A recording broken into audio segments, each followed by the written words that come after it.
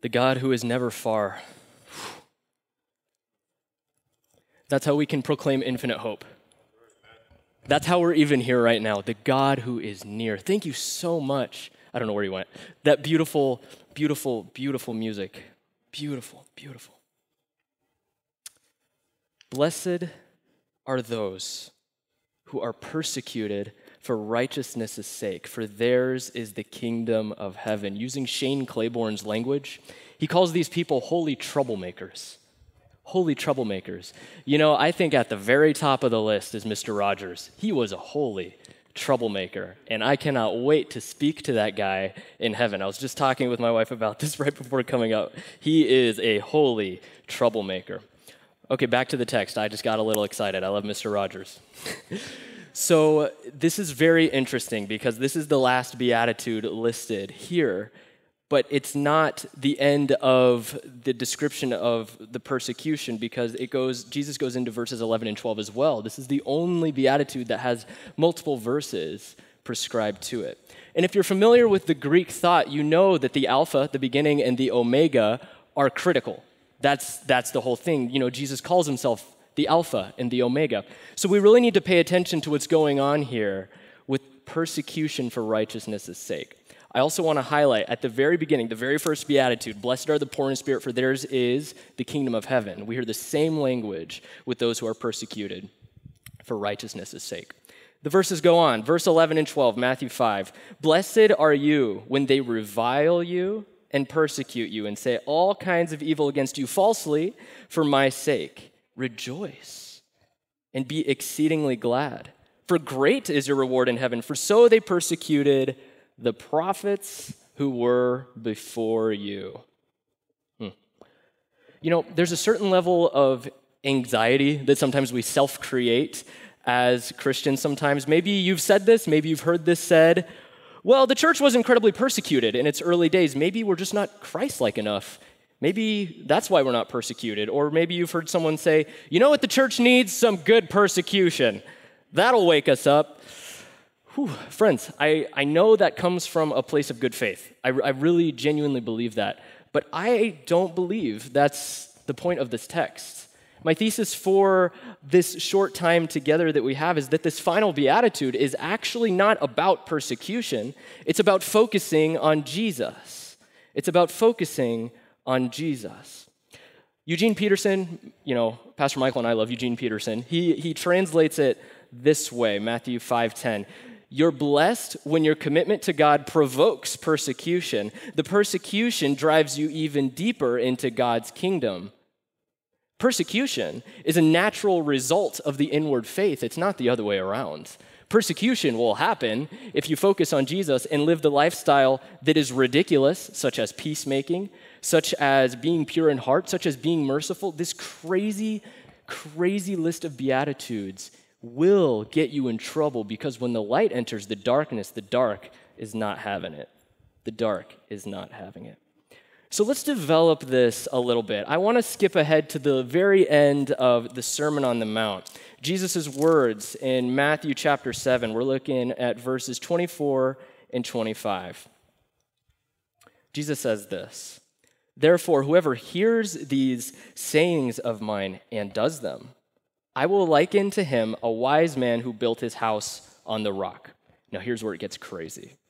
And the rain descended did it say the rains may come? No, it says the rains descended, the floods came, and the winds blew and beat on that house. But what happened to the house? It did not fall, for it was founded on the rock. Persecution is the natural result of the Christian life, not the focus. The storm will come. Jesus promises that. But there is hope. This whole thing reminds me of my favorite story in all of Scripture, one of my favorites.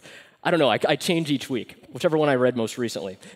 Matthew 14. Uh, I'm not going to read all of it, but you can go there if you want to follow along. This is the story of Peter walking on water. It's so ridiculous. Can we just acknowledge that a lot of the stories in the Bible are ridiculous? And amen to that, because real life is also quite ridiculous.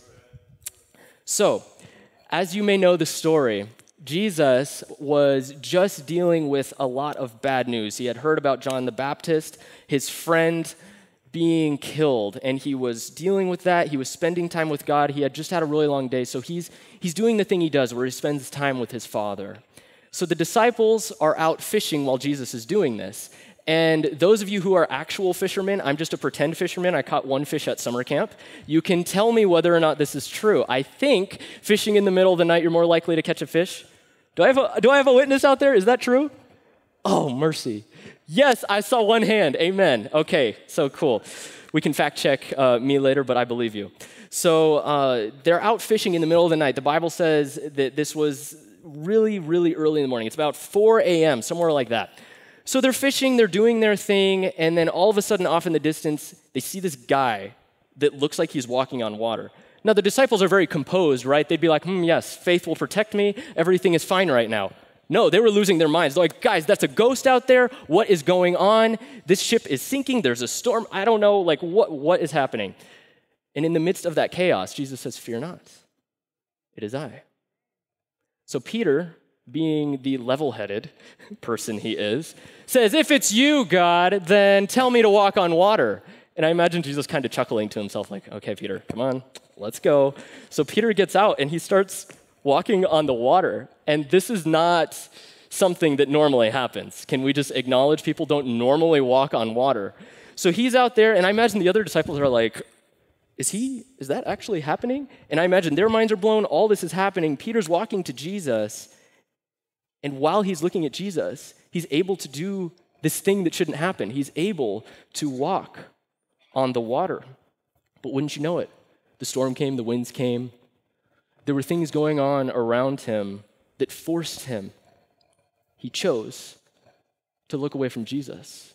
He looked at the storm he looked at the water. I imagine he looked at that giant fish that was below there. I don't know what's the biggest fish in Galilee, but I imagine that was right below his feet. And he noticed that, and he began to sink because his focus, his gaze was not on Jesus, it was on the things that were surrounding him that were his persecution, the things that were louder than Jesus' voice. So he began to sink and he's falling. And I imagine with lungs full of water, he cried, Lord, save me. I couldn't do an impression with lungs full of water, so that's the best I got. Lord, save me. And immediately, what happened?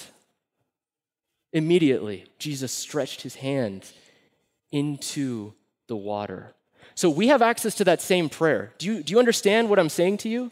I don't know what storm you're going through. I don't know what nonsense is happening in your life. Like, like our hosts were saying, maybe no one knows what you're going through, but you can have that same prayer that Peter did, and Jesus will immediately reach his hand into your situation.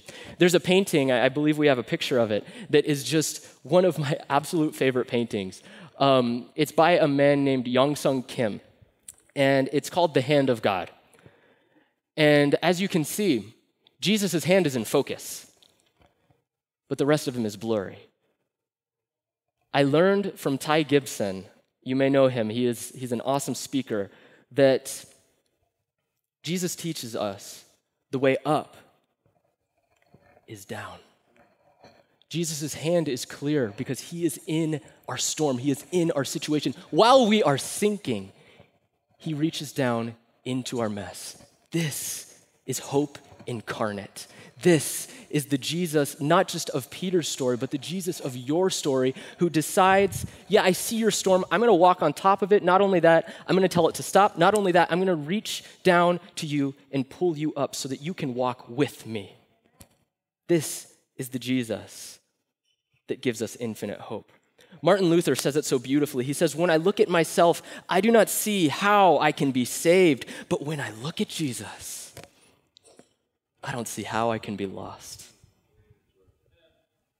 We have infinite hope because infinite hope is a person. Persecution is simply a byproduct of living that kingdom life that Jesus calls us to live. Remember, people are sitting in the dark. It's very shocking to turn on the light. My cat, I always think of him. Whenever I turn on the light, he's always squinting. It's very shocking to have the light turned on when you're sitting in the dark. So, this is what's happening whenever we bring that kingdom life to those that maybe aren't ready for it.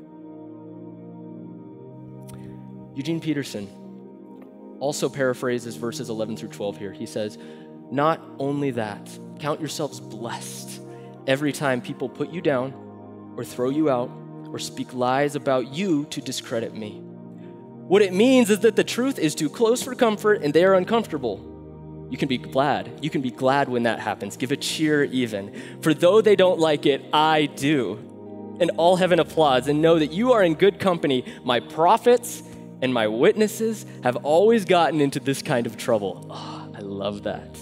I love that. Let me end with one more quote from uh, Shane Claiborne. He says this I think the invitation is to live with imagination that prophetic imagination that says, I'm going to try to see the world with new eyes.